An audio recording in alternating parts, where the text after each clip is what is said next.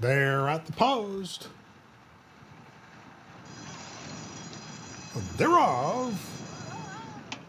Firm Believer, and now Brother Leo comes on just to the inside of Firm Believer, Apostolics, and those orange silks at the rail. And it's Brother Leo, this first time starter, has taken the lead and crossed over to the rail. Looks headstrong out there, fighting Rosa da Silva just a bit. Rosa da Silva trying to nurse the speed of this first time starter. Brother Leo Apostolic, a long shot in here second. Aesthetic comes on third. Firm Believers back and forth. Good answer. Keep the cash. Best Bard and Vows in Houston with three furlongs to go now. And it's Brother Leo. Brother Leo a length and three quarters. Apostolic is second. In between horses, trying to make up some ground now is Good Answer. Good Answers coming with a bid. Also showing signs of life from off the pace is Best Bard, who angles outside for the drive, and they're at the top of the stretch.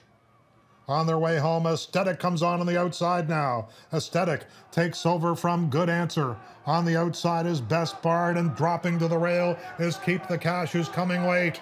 And it's Aesthetic at the 70 yard pole. Surging late, Best Bard. Aesthetic won it. Best Bard in a place photo with Keep the Cash. Good Answer was fourth.